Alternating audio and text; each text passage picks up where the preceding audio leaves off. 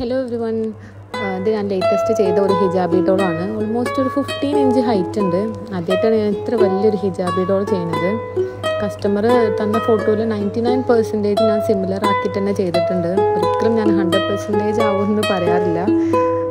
ഇത് അവർക്ക് ഇഷ്ടമായിട്ടുണ്ട്. രണ്ട് ഡേ ആൻഡ് നൈറ്റ് കംപ്ലീറ്റ് ഇരുന്ന് ചെയ്ത് തീർത്ത ഒരു പ്രൊഡക്റ്റാണിത്